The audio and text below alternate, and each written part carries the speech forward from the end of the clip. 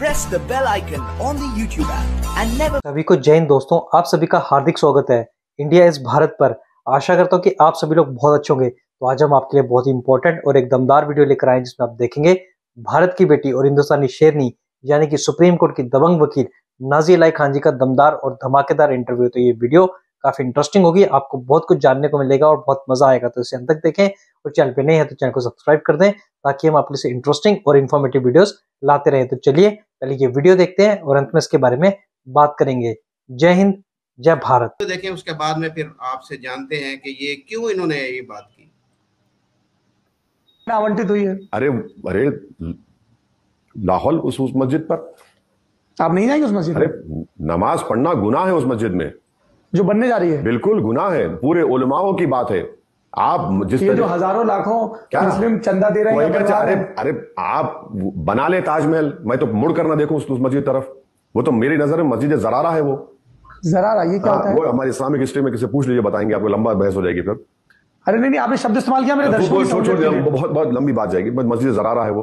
अरे अगर मुझे मतलब गैरकानूनी? नहीं नहीं नहीं वो नाम है तारीख के प्रॉफिट के जमाने का। अब आप बताइए मेरी लड़ाई मस्जिद की ज़मीन के लिए थी या वो मस्जिद के लिए थी?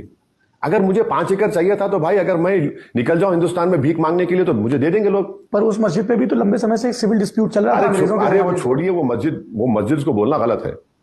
कौन मैं कोई जाने जाके नमाज़ ना पढ़े उसमें? भाई लड़ाई जी बहन, आपने सुना, वो मस्जिद को कह रहे हैं कि उसको मस्जिद कहना ही गुनाह है और वहाँ पर नमाज़ पढ़ना ही गुनाह है और उन्होंने लाहौला वाला कुवत पढ़ा है उस मस्जिद के लिए। ऐसी कौन सी उस मस्जिद के अंदर नौजबिल्ला गलत बात है कि जो मस्जिद को, वो मस्जिद कहने को तैयार नहीं, वहाँ पर नमाज़ पढ़ने को तैयार नहीं और उसके लिए इस तरह के गलत अल्फाज वो इस्तेमाल कर रहे हैं? मैं मैं अपने आप को बहुत खुशकिस्मत समझती हूँ।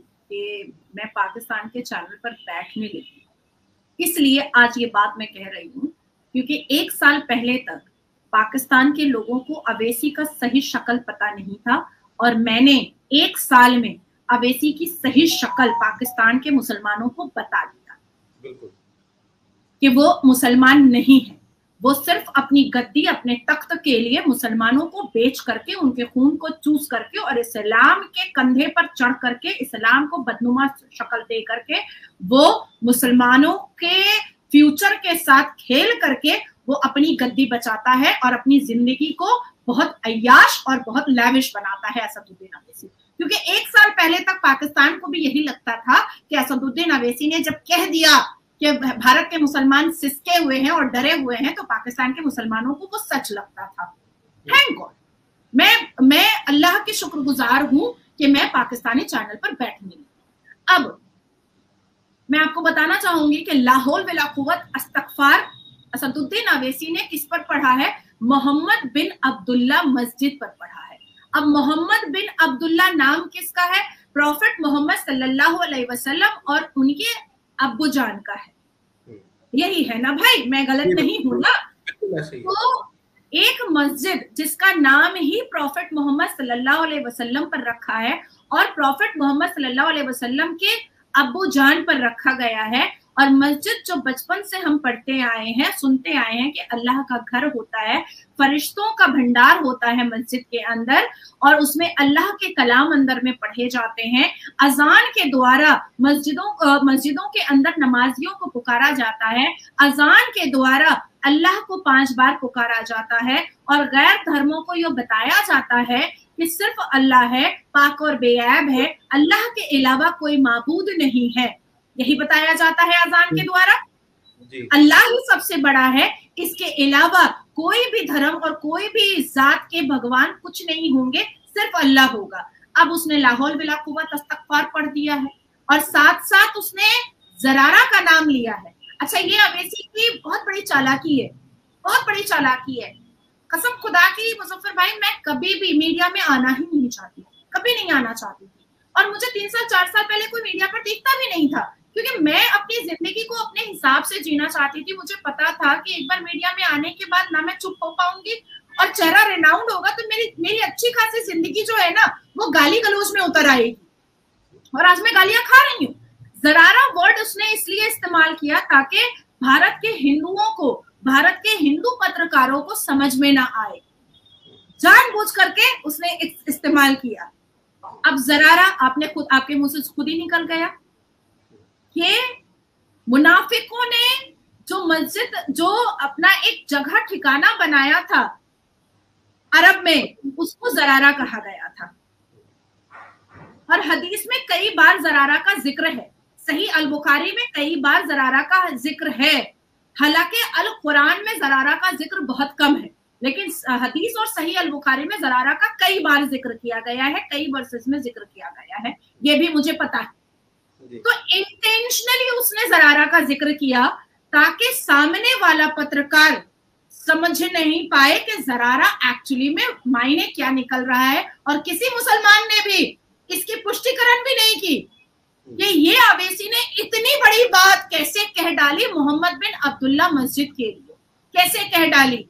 दूसरा, तीसरा उसने कहा है कि भारत के मुसलमानों को उसने चेतावनी दी है कि मोहम्मद बिन अब्दुल्ला मस्जिद पर प्रॉफिट मोहम्मद सल्लल्लाहु अलैहि वसल्लम के नाम पर रखा गया है, उस, उसके अंदर नमाज़ पढ़ने ना ये भी कह डाला है उसने। अब जिस पत्र, जो पत्रकार इनका इनका इंटरव्यू कर रहा था, मैं उनके बारे में जरा सा बोलना चाहूँगी। ये ललन टॉप के पत्रकार है। ये ललन टॉप अपना एक चैनल चलाते हैं और इनका मानना है कि ये फैक्ट चेक करते हैं। और फैक्ट चेक कर कर, करके ये देश की जनता को, भारत देश की जनता को ये दिखाते हैं। हालिया में एक प्रोफेसर के मुँह से आ, काफ़ी ऐसी बातें निकल गई थी आ, जो यूपीएससी वगैरह का एग्ज़ाम वगैरह और इंटरव्यू वगैरह लेते थे जो हिंदू धर्म के खिलाफ निकल गई थी। उनके ऊपर एफआईआर भी हुआ था।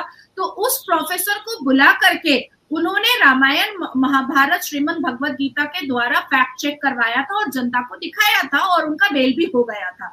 लेकिन इनकी पार्शियलिटी लल्लन टॉप वाले की देखिए कि इन्होंने कभी भी नुपुर शर्मा को फैक्ट चेक करने के लिए नहीं बुलाया। कभी नहीं बुलाया।